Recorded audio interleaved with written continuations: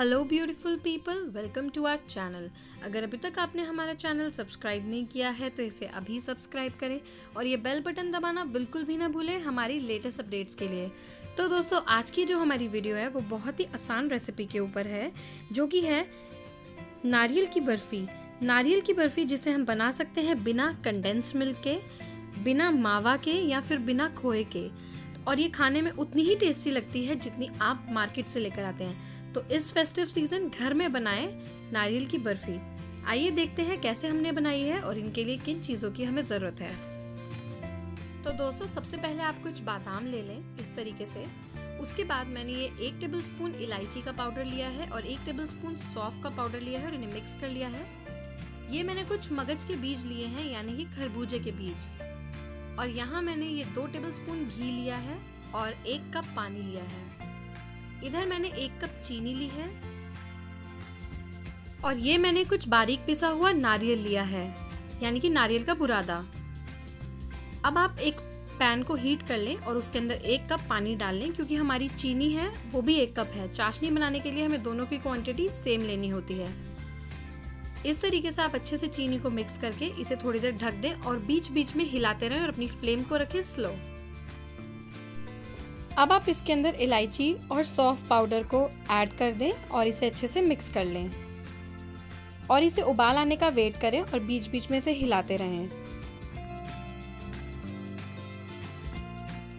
दोस्तों, आपकी चाशनी गाढ़ी हो जानी चाहिए, यानी कि थिक हो जानी चाहिए। इस चाशनी को हम बोलते हैं एक तार चाशनी मतलब एक तार बराबर ये होनी चाहिए। चाशनी बनने के बाद आप इसके अंदर ये नारियल ऐड कर दीजिए। फिर आप इसके बाद मगज के बीज भी ऐड कर दें और सभी इंग्रेडिएंट्स को अच्छे से मिक्स कर लें। और दोस्तों, इसे तब तक मिक्स करें जब तक जो आपका बैटर है वो एक तरफा नहीं हो जाता, यानी कि पैन से अलग नहीं हो जाता।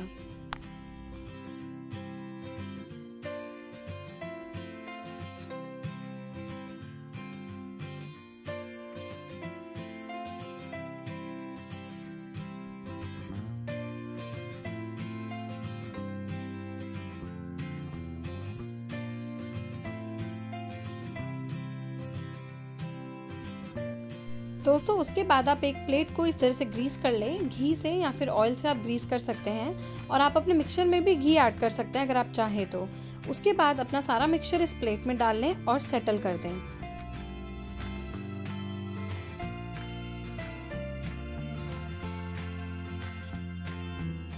याद रखें, जब आप इसे सेटल कर रहे हो तो इसे अच्छे से दबाएँ ताकि इसके अंदर कोई एयर पंप ना रहे।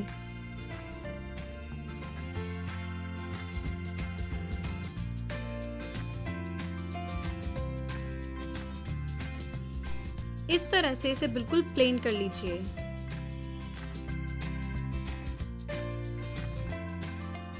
अब आप इसके ऊपर थोड़ी सी पिसी हुई चीनी, यानी कि कैस्टर शुगर स्प्रिंकल कर दें।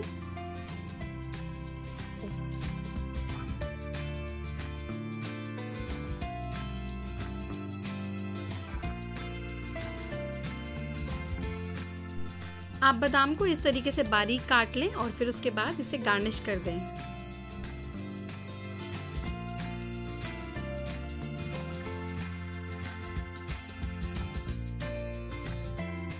अब आप इसे 10 से 15 मिनट के लिए रख दीजिए और उसके बाद इसे पीसेस में कट कर लीजिए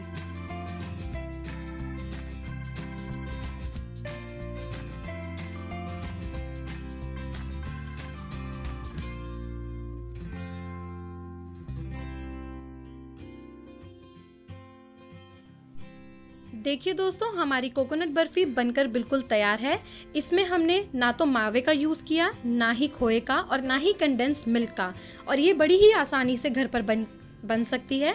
आप भी इसे ज़रूर ट्राई करें और अपने सजेशंस मुझे कमेंट बॉक्स में ज़रूर दीजिएगा। अगर आपको मेरी वीडियो पसंद आई हो तो मेरी वीडियो को लाइक करें, मेरे चैनल को सब्सक्राइब करें और अपने कमेंट्स देना बिल्कुल भी ना भूलिएगा। Thank you so much for watching my video